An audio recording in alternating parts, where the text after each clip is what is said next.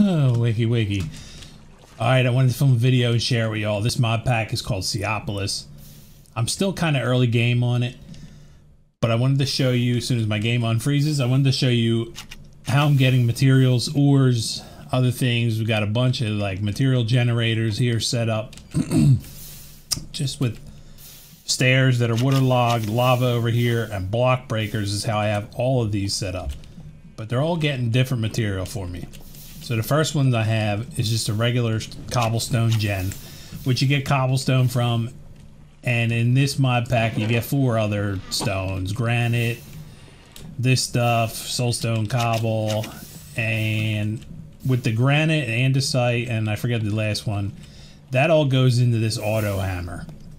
And that crushes it up. And then it feeds these fire crucibles which all have lava underneath of them, and they're generating lava with the crushed stones. So, alright. And that's how you kill yourself. You should leave water around your base so you can cool off.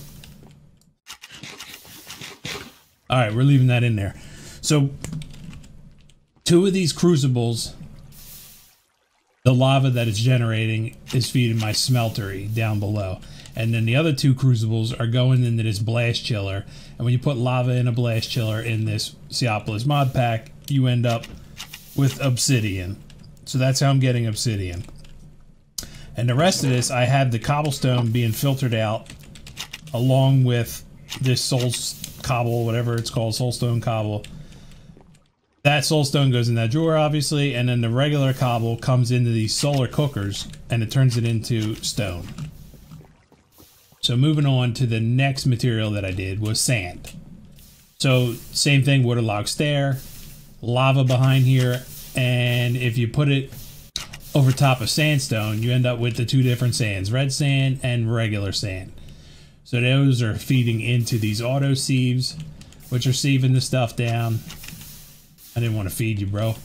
And then it goes into this auto compressor, and it compresses it down to the different things that I'm putting in my storage system. Same thing with the red sand.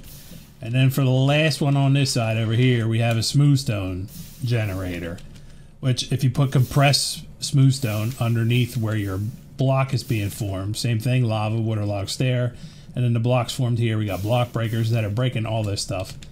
You end up with smooth stone, but you also end up with gravel and some flint. So the smooth stone has to be broken down in order to sift it. So that's being fed into this hammer. And then I got two guys over here auto sieving gravel, takes the stuff, compacts it in here, shoots it down into my storage system down below. And the last one I just added was netherrack. So for the netherrack, lava and blue ice over top of soul soil. Block breaker breaks it, turns it into netherrack. That's getting hammered down in here, turns it into crushed netherrack. Crushed netherrack goes through the auto sieve, and some of the stuff gets put in here, and this stuff was kind of goofy. Nether quartz, solium dust. So I had to add a diamond upgrade on here, and I filtered it out so that this was turning the quartz into like quartz bricks and some other stuff before. So I had to change that to add that. So for power, for all this stuff, so far all I have is five of these wind generators. Now let me take you down below and show you what else I added here for automation. So there's the smeltery, and like I said before, we got the two fire crucibles up there making lava. Two of those are feeding the smeltery. Boom, it goes into the seared tank. And then over here is where I have my storage for now all the ores and other pieces that we're getting from up there get put down into here. Now, with the netherrack, I was able to add a piece called a seared duct. So with this, you can put a copper can in here with whatever kind of material you want to pull out of the smeltery, and you can automate this whole process too. So we got molten overworld matter. It's being pulled out of here.